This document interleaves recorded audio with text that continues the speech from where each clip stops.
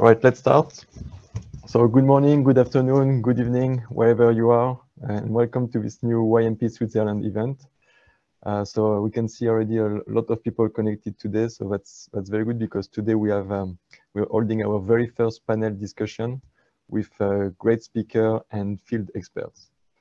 Um, before starting, I'd like to remind the audience to stay on mute. Uh, at the end of the discussion, we will allow 10 minutes for questions from the audience feel free to add your question in the chat and we will ask it to our panelists. Please note that the meeting is being recorded. I want... oh, okay, please, please stay on mute, thank you. Uh, so our topic today is mining electrification. Uh, fuel consumption at mines can represent up to 80% of a mine carbon emissions. As all industries are working toward reducing their emissions, the mining industry is focusing more and more on reducing fuel consumption through electrification. This transformation requires a new set of technology, skills, and as well new type of collaboration. To discuss our to discuss how to conduct this transformation, we are joined today by speakers from different parts of the mining industry, all contributing to the electrification journey. Today, I'm pleased to welcome Merzad Ashnagaran, Global Product Line Manager, Electrification and E-Mine Initiative Lead at ABB. Jonas Rongard, Manager Mines Energy Program at Boliden. Mark Davis, Group Technical Executive at Glencore. And Johannes Valivara, Product Line Manager, Mining and Tunneling at Sandvik. Gentlemen, thank you very much for being with us today to start with, and for the benefit of our audience, I'd like if each of you to tell us in a few minutes, how is your company involved and how is it positioned on this mining electrification journey? And I will start with you, Merzad, as representative of the companies providing the infrastructure to mines. Thank you. Uh, I start with uh, my introduction. My name is Merzad Ashnagaran. I'm uh, uh, 26 years in mining business, uh, 22 years with ABB in a different position in uh, business development and sales of large project. And uh, in the last four years, uh, um, I'm responsible globally for product line electrification and composite plant with a big focus on all electric mine, which eMine is uh, a kind of response to this market. I'm leading that initiative we are committed to our uh, industry, uh, which is mining industry, to do this uh, energy transition. And in this uh, way, we are committed to help our customer together with also our uh, partners that uh, our miners and our customer meet the sustainability target. also stay competitive and also in the same time increase productivity. we are not newcomer in this market. We are almost 130 years in electrification of the mine. And uh, uh, we uh, continue this journey also with this e-mine concept. We started 130 years ago with electrification of hoist system in Sweden. Uh, but what is the e-mine? Uh, e-mine make this all electric mine happen is a integration of a different type of the solution, electrification solution, digital solution, and automation solution in order to reduce zero, uh, uh, to, to, reduce the actually greenhouse gas emission in the mine. Uh, is also a kind of continuation of our past efforts in electrification of entire mine, what we call it plant business, fully integrated, seamless portfolio which was vertically, horizontally integrated uh, uh, from pit to the port in the mine, including uh, several different solutions like grinding system, hoist system, uh, uh, belt conveying system, high power rectifier, uh, water system, and ventilation on demand, and many other solutions. Therefore, uh, eMine is a, more or less is a kind of last piece of puzzle to make this picture complete, extending our uh, electrification capability towards mine area uh, to be able to energize and power the mining trucks and mining fleets because everything there was based on the fossil fuel energy. That's why that's why that's why that we were absent there. But now with the integration of the eMine portfolio, eMine solution, we want to power the um, actual mining trucks and mining fleets with the eMine solution, eMine portfolio, including trolley system, including fast charging system, and some other solution that we have uh, already incorporated in our eMine portfolio. Uh, I can say also in this way, by integration in eMine, we try to uh, also to optimize the uh, energy usage and energy efficiency. Um, by that way, also we, we can reduce the OPEX for the customer, also improve the productivity. Needless to say that this has also improved the sustainability and also in the same time, uh, reduction of the uh, pollution, reduction of the, the, hazards, and also in the same time improve this health and safety. That was, uh, in a nutshell, what is behind eMine. Thank you very much, Merzad. And I'd like now to move to the OEM manufacturer. So Johannes, can you can you tell us how is Sandvik involved in, in electrification? Yep, thanks and happy to meet everybody. So yeah, briefly also to introduce my background as well. I've been working in the company for roughly uh, 16 years, mainly uh, regarding different sort of uh, mining technologies. So um, here at Sandvik, uh, the electrification has been pretty much our focus areas quite some time already. I mean, we do have in the Sandvik Mining and Rock Solution business area, we have six different divisions responsible to manufacture all sorts of um, mining equipment. We are talking about loaders, uh, trucks. We are talking about drills for both underground and surface mining, uh, parts and services around those, as well as different sort of uh, digital solutions. So uh, the underground drills uh, business division in, in which I'm actually located, uh, we introduced the first uh, battery-driven mining jumbo to the industry around 2016. The very traditional use case to, to use a drill underground would be to have a diesel combustion engine to drive the unit from one place to another, take the power from the electric to do the drilling, uh, the technology what we've uh, developed nicely basically combines these two together. So hence there are no need anymore for for the diesel combustion engine itself. So we actually when we are connected uh, to the grid we charge the batteries so that when we have drilled a specific fan or a specific round the batteries are pretty much fully loaded and the unit can drive uh, to the next location and of course this is part of the larger narrative what we have been working if, in, in uh, helping our customers, of course, to go towards this um, zero emission underground mine. So that's very brief overview of our offering here at, at Sandvik. Thank you, Johannes. And uh, I'd like now to hear from, from the miners, and we will start with uh, Jonas from Boliden. Jonas.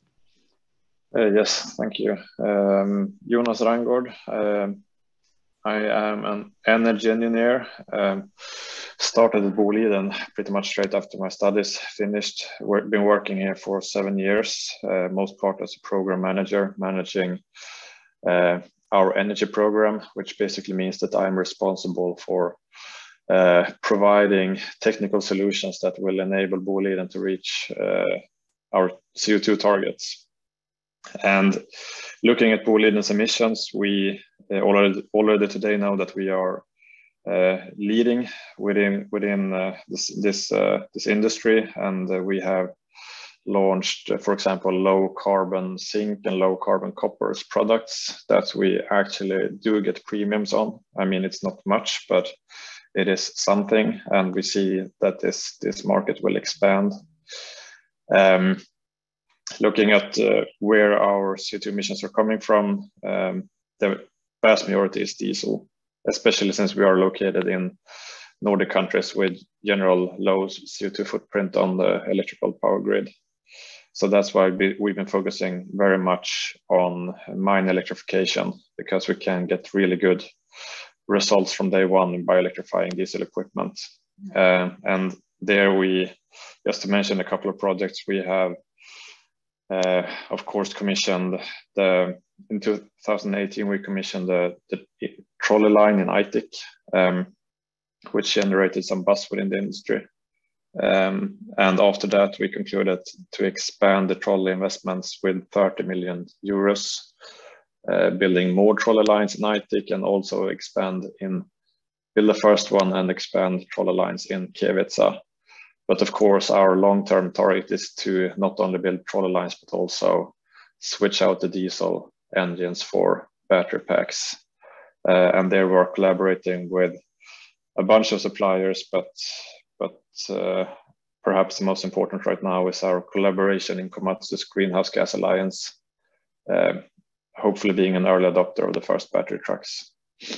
uh, when it comes to underground electrification, we have this Rävliden uh, initiative that is our take on the first, our first uh, fossil-free underground mine, where we will uh, into 2023 build the first underground trolley line together with ABB and Epiroc. Um, hopefully verify that technology so that we can scale it up and use it in full production in 2025 and therefore have having a completely diesel free load and haul in a relatively small underground mine. Um, and also this week, next week, we will commission the, our um, 74 ton battery truck from Scania, uh, transporting ore from Renström to Boliden area concentrator. So a lot of uh, interesting uh, projects either recently started or around the corner. Thank you, Jonas. And, and to conclude this first round, uh, Mark, how is Glencore involved in, in electrification? Thanks, Sean. And uh, look, thanks everyone for having the opportunity to join this this discussion today with with the the young mining professionals. I think it's a fabulous opportunity to talk about this, you know, most important activity in terms of our energy transition, and especially um, the partnering and collaboration approach through this this arrangement in terms of how all the, the, the energy and infrastructure type companies need to work with um, equipment manufacturers and the mining companies themselves. From a, a, Glencore perspective, I guess I would I would couch it by saying, in terms of the energy transition, we find ourselves you know right in the middle of it. You know, we're part of the the problem in terms of being one of the world's top 100 emitters of carbon.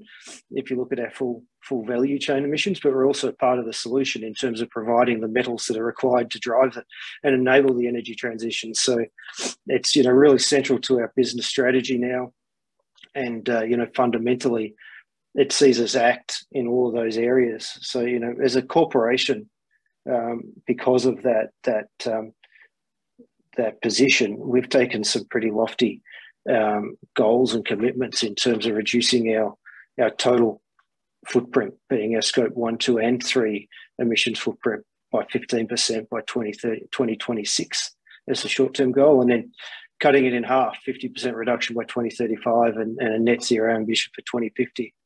And I mention that because you know the the orders of magnitude of of what the different businesses uh, are involved in in terms of their operational footprint as well as their value chain or indirect emissions. Um, you know, gives a, a, good overview in terms of where we need to be acting. Um, in terms of um, the, the acting on our footprint, um, you mentioned, John, at the start that, you know, a typical mine will have 80% of the emissions or thereabouts linked to, to diesel burn. And, and, you know, that's central to electrification. Just for the audience here, I'll, I'll, kind of reinforce as well that you know, as a mining company or a resource company, those that are more heavily integrated, all the way from mine through to smelters, tend to have a lot of emissions related to um, power purchase and to uh, use of reductants as well. So it sort of drives a, a, a differing approach potentially across the different mining houses as to where we need to act in terms of uh, the energy transition. Um, certainly for for Glencore, um, we've got a lot of um, actions around power purchase because it makes up about forty percent of our um, greenhouse gas emissions, um, and diesel, by the way, makes up about fifteen percent. But it's no no less important um, to act on it because it's still you know roughly about five million tons a year of, of CO two equivalent emissions. Um, across our business, we've got you know alignment from the the company level strategy through to our our assets in terms of developing a, a raft of options for abatement of carbon, and uh, certainly um, in the electrification area, we see that uh, um, the partnering type approach, which would be good to discuss in a bit more detail, is going to be really central to success. Um, certainly, when we come to electrification of mines, um, you know, our company strategy and the way we're working with the different parts of our business is that we don't see a single solution um, you know, driving all of the all of the outcomes, but certainly working on a on a on a multitude of solutions, and that that includes, you know, electrification of haul trucks, um, like Johannes said, in terms of trolley assist and and and uh, and and Jonas spoke about uh, on trolley assist, and, and also in terms of um, battery as well as hydrogen fuel cells on on trucks and mobile equipment. So we're working with partners across a range of areas to enable that to happen. But I think, um, you know, I just wanted to reinforce that um, for the audience, particularly um, demonstrating how we plan to remove carbon from our business as well as enable the transition um, as each of our companies are doing through the provision of solutions for the energy transition is, is equally important. Thank you, Mark, and th thanks uh, all for this uh, introduction. I think it gives good overview of, uh, of your company's role in, in the electrification transformation and, and helps to put some, some context for, for our audience. Uh, to start with, I'd like to touch a little bit on technology, and, and we mentioned already different things like uh, trolley assist, uh, hydrogen, and so on. But but to more details, like when we when we're talking about electrifying mines, which technology are we talking about? Is it like purely electric batteries, hydrogen? Are there any other uh, solutions we, which are maybe less obvious, which uh, which are also being uh, implemented? And I'd like to start with uh, with Jonas as uh, the part of the R&D division at Boliden. I'd like to hear your thoughts on which which technology are available today for electrifying. I mean, we talk about trolleys so much because that's what's available today and are somewhat proven. Um, looking at the longer term, I I am a part of Team Battery Power, um, where, I mean, first I can address hydrogen. That, how should I put it? I mean, it is, it feels like a consensus in the industry is that battery power always trump triumphs hydrogen and fuel cells unless you have a very unreliable power grid. I mean, that's where hydrogen might come in and have, have a role. And the reason I'm saying this is that is because um, you you have so much waste of energy due to the low efficiency in, in the fuel cells, as many of you know. It's also rather complex and uh, and expensive, and you still need a pretty big battery pack. As you can see, for example, in Anglo American's uh, hydrogen truck, they still have like one megawatt hour of battery pack on the truck. And we feel that if you have the power grid for it, it's better to just charge it with much higher efficiency from the power grid. But if you are located in a in a in a country with very uh, poor reliability, or perhaps you're you're relying on 100% solar, I'm not an expert on that because we don't have mines in those kind of areas. It might it might be a good solution but if you have if you have strong grids that we do have in in Europe and especially in Northern Europe, we see that pure battery electrification is the way forward. Um, where trolley might come in as a dynamic charging solution, um, and that is, I think that will be case specific. If you have AHS, especially. Uh, you you might just as well park the trucks and charge them. You don't have any cost of any driver sitting in the truck waiting for it to charge.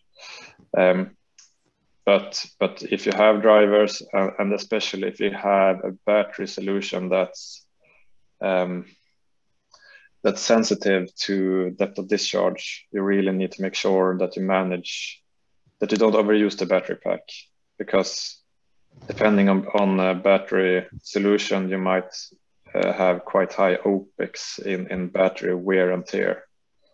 So we see we see a future of uh, battery trucks where where trolley might be used for where we will have a combination of dynamic charging using trolley and stationary charging.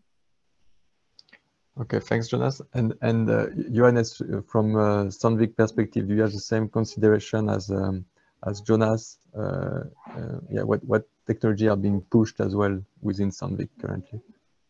Yeah, I guess Jonas put it pretty well well together. Uh, our main focus area is also on the electrification around around the batteries. Um, thinking about the discussions what we've had with with our clients, that seems to be the tendency and the preferred way way going forward.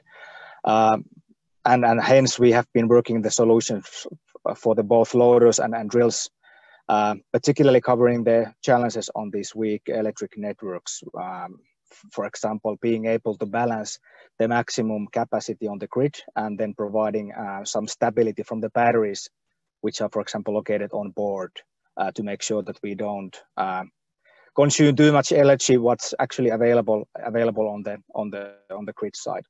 So yeah, I, I guess to, to to put it short, yeah, battery battery technology around and and, and the questions around those has been our, our main main focus areas as well, and, and particularly for the underground minings where um, I guess same goes for the surface, but particularly underground mining operating at deeper levels, great depths. Uh, safety is one of the one of the key adoption drivers um, for the technology. And at least from us as an OEM perspective, uh, we have been able to work around much more feasible solutions what goes for the opera operational safety uh, when thinking about electrification when comparing um, batteries, for example, to the to the hydrogen. So so same focus areas on, on our side going forward. Thanks, Johannes. I mean, I hear in, in both of your uh, answers, there's lots of talk about uh, the grid as well and, and, and reliability of the grid. Uh, so I'm, I, I, my next question will be for Merzad. Uh, what kind of infrastructure are available today to provide the electricity re required for electrification? Uh, what, what, what are different solutions? Yeah, actually, I should say, first of all, market is still is evolving. I mean, market is not shaped yet. we have still some distance to be in that point. Uh, we have some also target, for example, for this kind of infrastructure around solution that we are proposing to the market to have a first target is be interoperable. This interoperability is uh, extremely important for us create the kind of OEM agnostic system that works with everyone, the kind of a standard. But the solution that right now exists is actually a series of solutions, which is uh, some of them new, some of them old, but based on the new technology and correct technology, we are trying to improve those solutions. Uh, starting from trolley system, a kind of hybrid diesel electric uh, trucks, which is connected by a pantograph to the trolley system, shows that in the actually in the during the peak load uh, haulage, uh, reduce massively the fuel consumption. Um, in the same time, increase the speed of the truck. And also we see that the uh, massively reduced of the maintenance costs, especially operational costs and also very reasonable return of investment, which is normally between two to five years. Another solution that uh, this stage is our focus, creating a kind of fast charging system, which is including a fast charger plus the connector device and also automation system, is a more or less used for the continuous operation when uh, uh when uh, uh, stand still time is less than 15 minutes.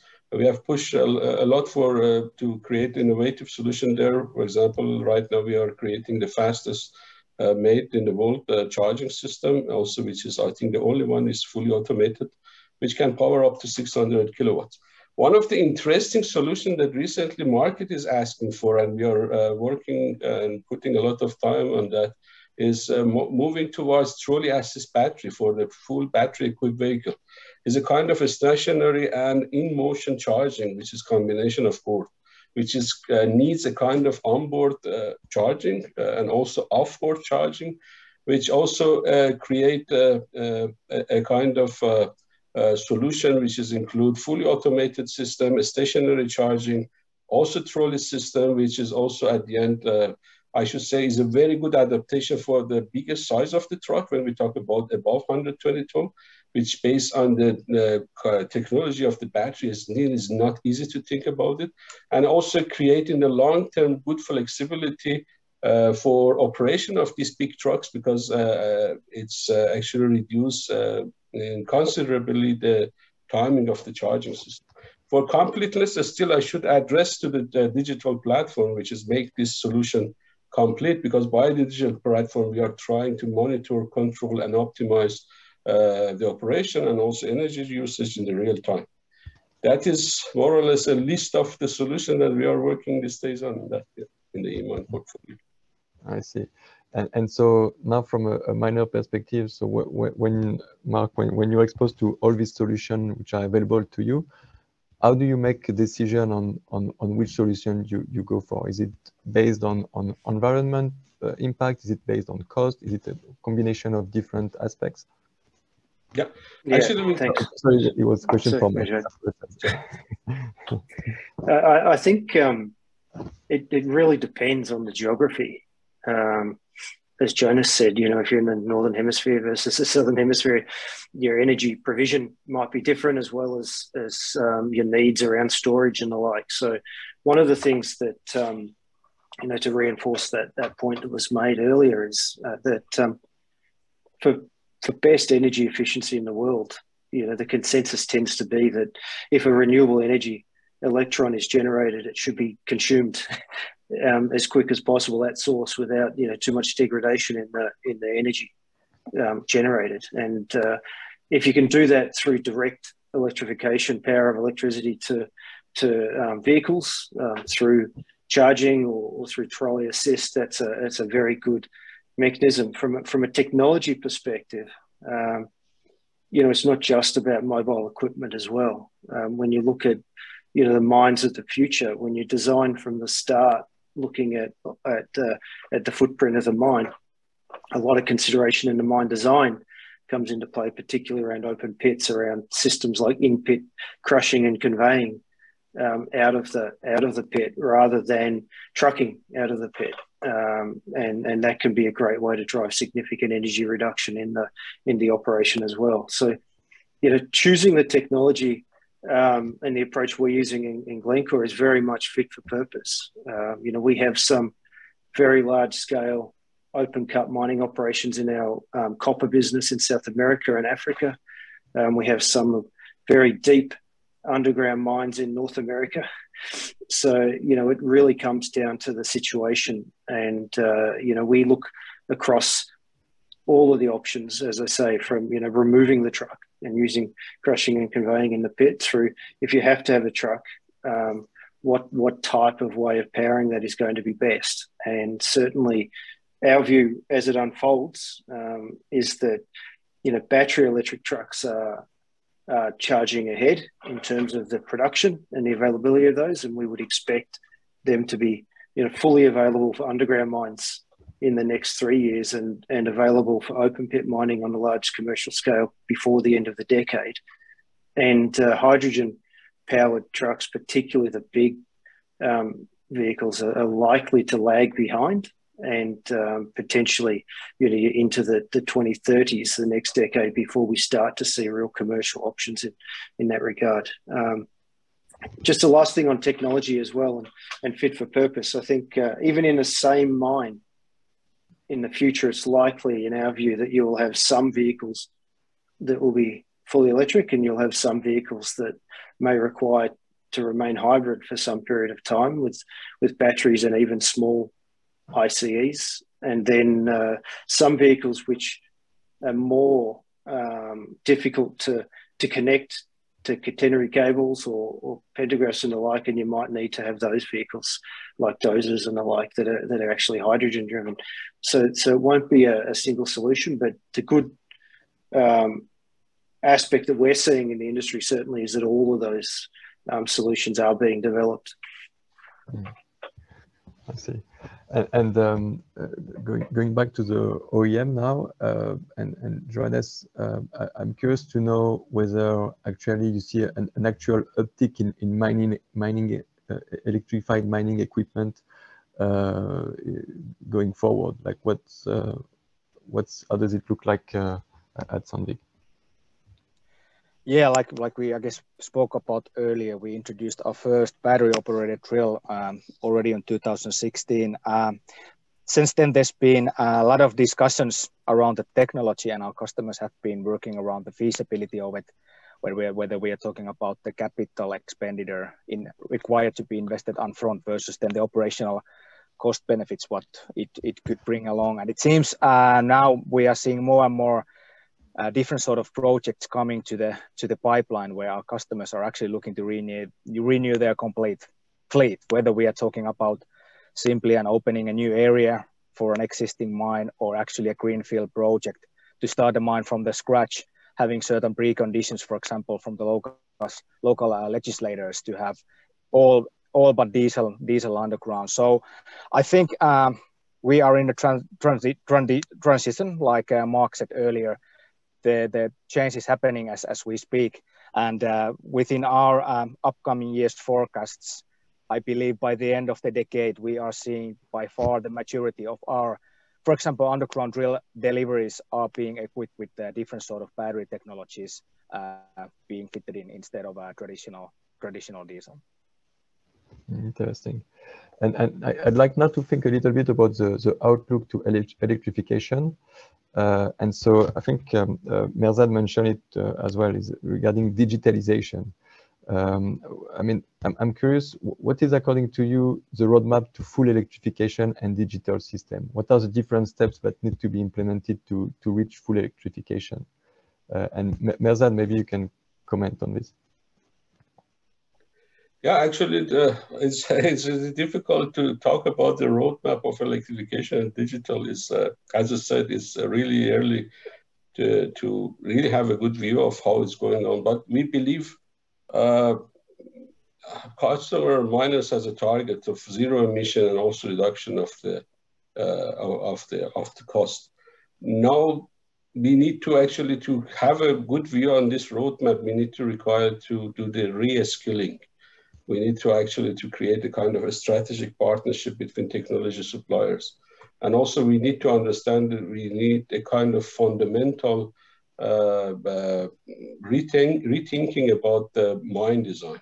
These uh, three points I would like to mention as the main three uh, elements in the in the roadmap of uh, electrification and uh, and also the, the, the digital platform. Uh, when I say re-skilling, because the customer is telling us that uh, they, they have already understood they are moving towards a new new technology, they need to to consider a kind of uh, new um, uh, skill profile for the people that they are working in that area.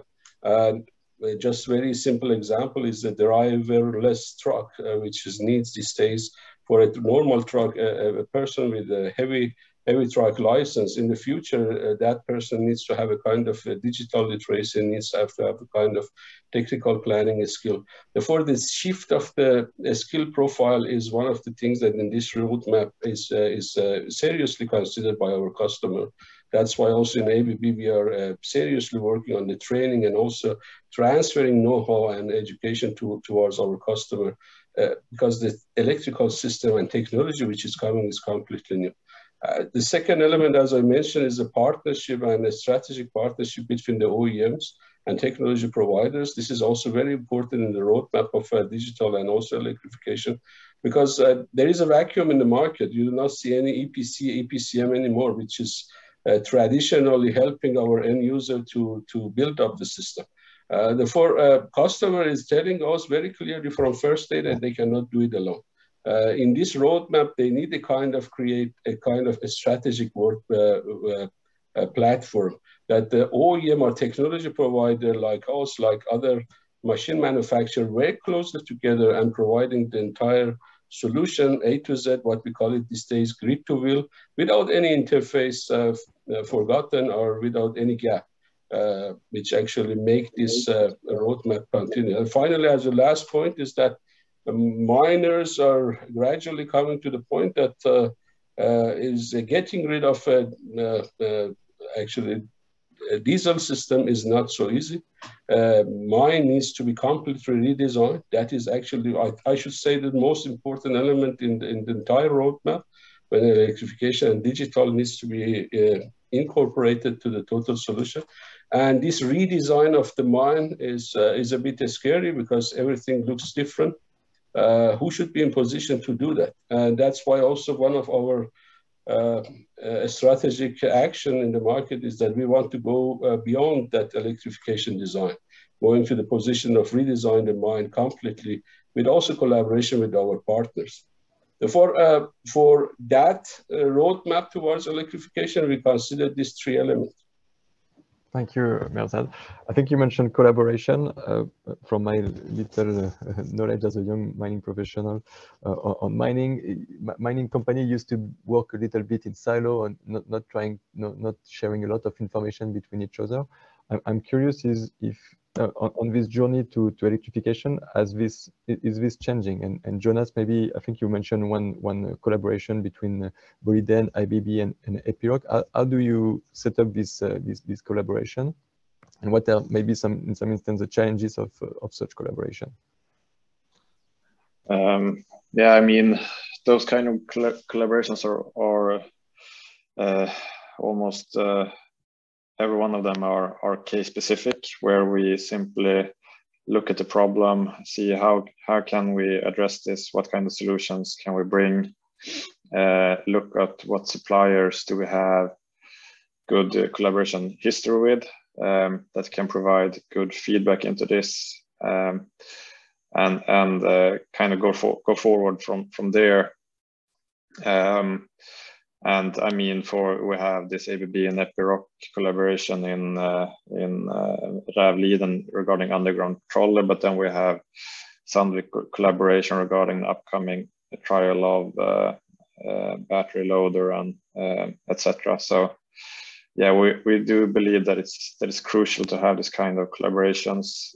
Um, also being very open-minded regarding what we learn, because we are relatively small mining company. I mean, we are far far smaller than Glencore, for example. So we don't have have the muscles to do do uh, that much work in house. So we really are dependent on having pretty much providing a good test or proving ground for our suppliers and being a good uh, uh, partner in developing new technology and, and also therefore committing to spreading knowledge and helping suppliers uh, with uh, spreading uh, knowledge about their, their new solutions. So for example, we've been uh, I'm uh, managing a huge number of uh, mine visits to spread knowledge about Trolley and Aitik, and we will do so for the underground Trolley, I'm sure, and we will have done so for many other important projects. So yeah.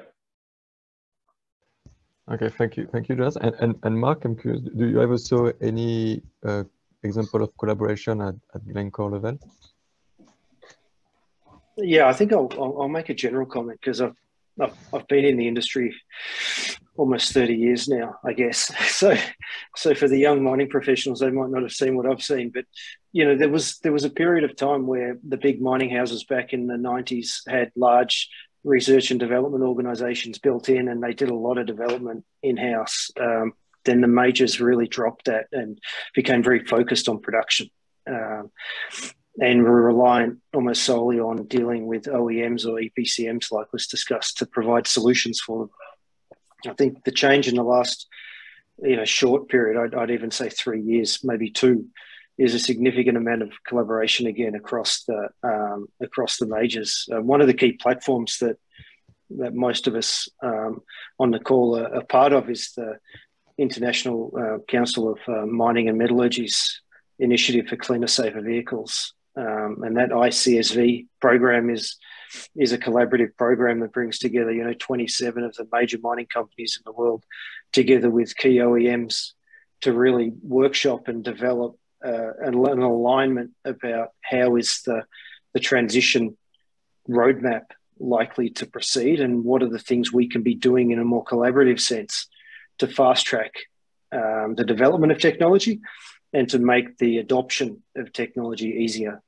So you know that kind of activity. Um, you know, didn't happen five years ago or 10 years ago. So I see a real, you know, upswing in that regard. And, and certainly, um, you know, it's not a case of of being able to um, put a tender out or, or uh, you know go and contract a single provider to give you a solution in this regard. There's a significant amount of work to electrify a mine and on the infrastructure side of things, um, because previously all of that energy was trucked in or, or, as diesel. Now it has to be fed around the site um, through electrical infrastructure. Um, so you need to have partnerships with infrastructure companies. You need to have partnerships with OEMs. As uh, Jonas said, you know, one of the key things to drive fast transformation is the OEMs just can't do all of the testing and development in the background and wait till they've got something right before they release it to the market.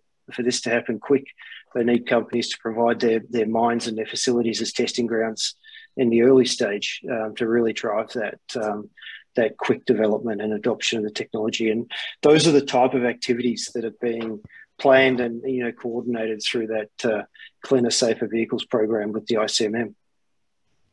I see. All right. And um, and and and again on this collaboration aspect, uh, uh, Johannes, I'm curious to to hear your your, your thoughts on what kind of concern uh, in electrification, what are the concern that uh, your customer raise when, when you collaborate on electrification project? Yeah, I guess there are a couple of points maybe highlighting. One, one was briefly as we dis discussed already about uh, how how do how do our customers would justify the investment. Of course, there are bigger picture in the game to to go for more green operations and reduce the carbon footprint, etc. But how to do that in an economical way that is is also attractive enough. So.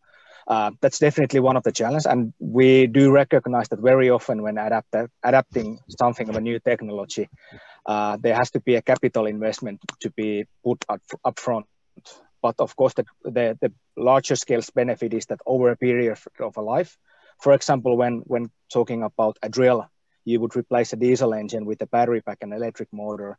That's an opportunity to drive down the operational costs. Uh, simply to simple example is your fuel costs and also your, your maintenance costs. But of course, the prerequisite of that is that the technology has to be proven. Uh, it has to be robust, designed for uh, mining applications. And the best way going forward, like like Mark pointed out, is that we as an OEM, the only way for us to actually validate the technology is to get engaged more closely with the mining houses, the contractors, um, have the units underground, have the units put underground and run it there, validate what are the actual benefits in, in real operations, not only on, on paper, and also to make sure that the technology, um, what we are bringing to the markets is, is well proven and tested before a larger scale uh, adoption could, could, could take place. So I would say that, that to find a good um, payback time for the investment and also making sure that the technology is, is robust enough. I guess those are the key questions what we are usually hearing from our customers.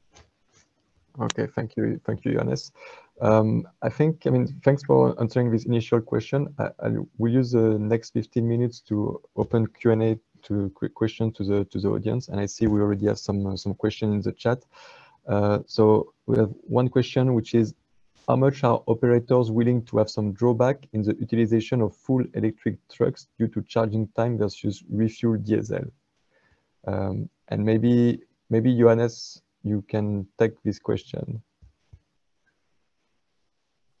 Uh, sorry, Jean, can you repeat the so the question is, uh, how much are operators willing to have some drawback in the utilization of full electric trucks due to charging times versus refuel of diesel? Yeah, so I guess this goes a bit of an outside of my area of expertise. I'm, I'm coming from the underground drill drill side of things. Uh, it, I guess it has to be looked on a case case specific question. Uh, when when taking an example from underground drills application, what we have seen is that our customers are pretty often driven by the productivity and certain amount of drill meters achieved. Um, and in that equation, there's very limited amount of room to actually have any separated work phases. Like, for example, charge the batteries separately to the normal drilling cycle. Uh, same principle would be uh, applicable for the loaders as well. And hence there are some solutions available, for example, with the drills uh, to be able to charge the batteries during the normal drilling cycle. For loaders and trucks, being able to uh, quickly release the battery off from the equipment and take a new one from the swapping station. Uh, station. We believe that that's the most uh, economical way to drive your uh, loaders and truck operations, and, and hence we have structured our offering around that that sort of a philosophy. Okay, thanks. Uh, and, and maybe Jonas, you have more experience on, on electric trucks, so maybe do, do you have any feedback from the operation on, on this question? Uh, well, there's there's uh, two answers here. Uh, first, how much are they willing to have drawback, and that is uh, very low. And how much should they be willing, and that is pretty high. Uh, I mean, we I've been around talking quite much at conferences uh, and speaking with, with partners about the importance of looking at things from a system perspective. And we, we do see that we in the mining industry has, for obvious reason, we've been focusing very hard, much on productivity. I mean, getting the maximum ton uh, out of the mine per per uh, man hour or truck hour or whatever.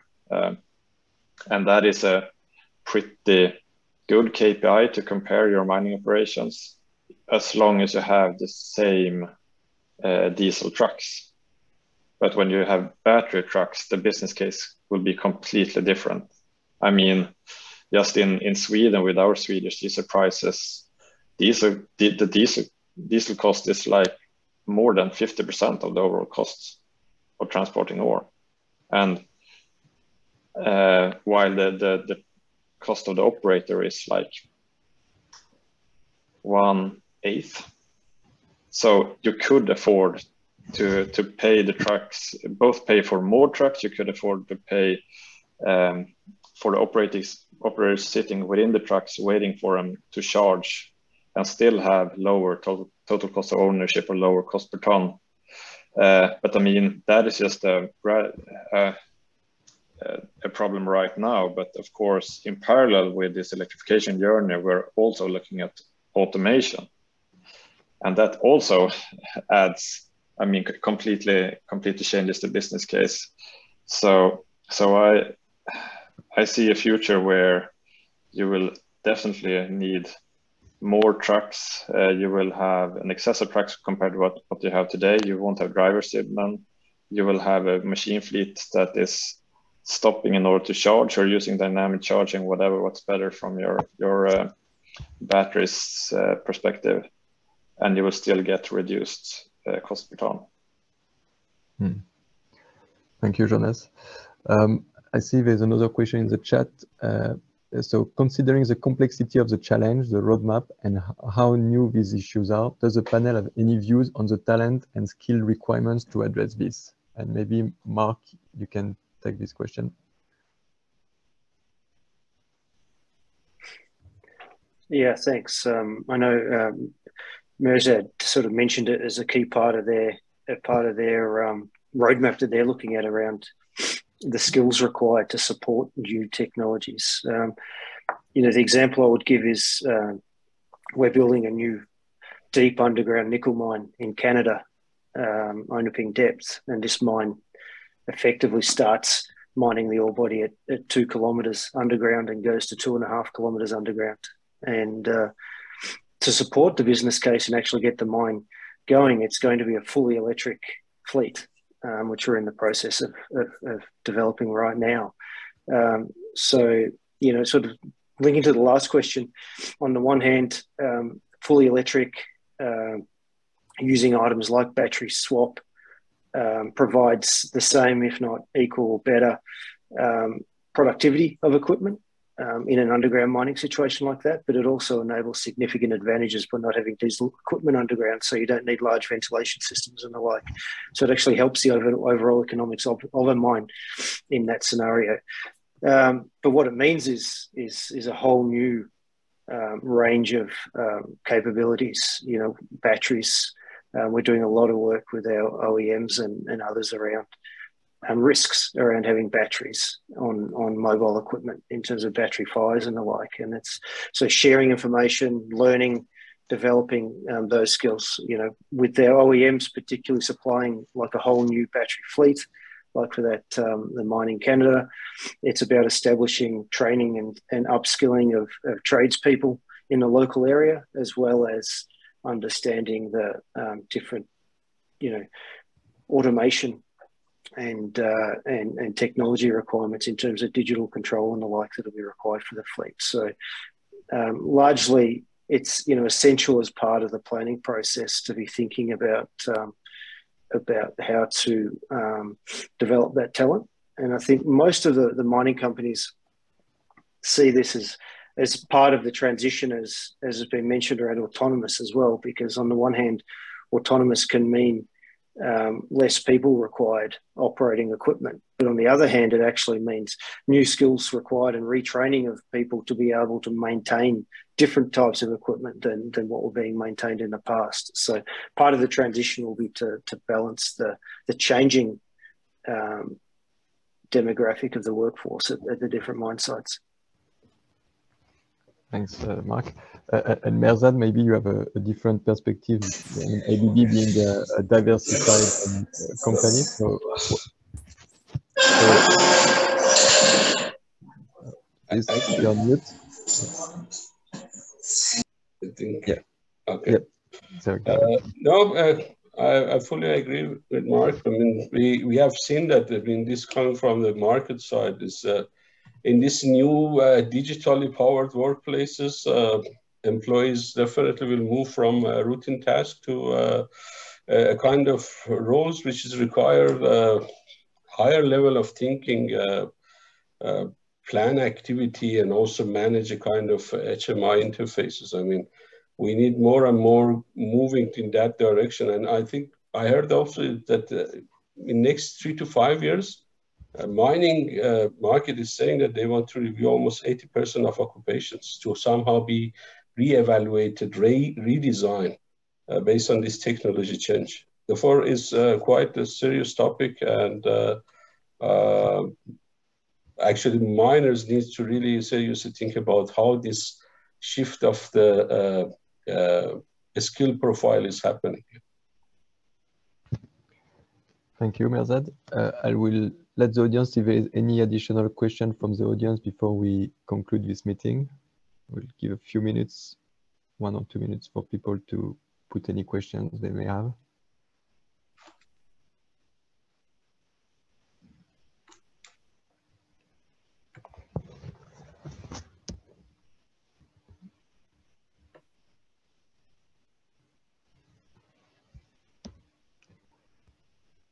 Yeah, I don't see any new questions from the audience. So I think uh, that now ends our event. Thanks a lot, gentlemen, for interesting discussion and providing answers to, to the, our members' questions.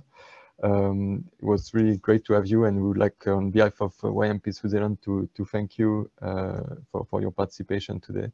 That's really appreciated. Uh, thanks also to uh, everyone who joined the event today. Uh, we are looking forward to obviously organizing similar events in the future. Uh, so yeah, thanks, uh, thank you everyone, and we wish uh, you all a good continuation of your day, and hope to see you again at future event. Thank you very much. Thank you, guys. Yeah.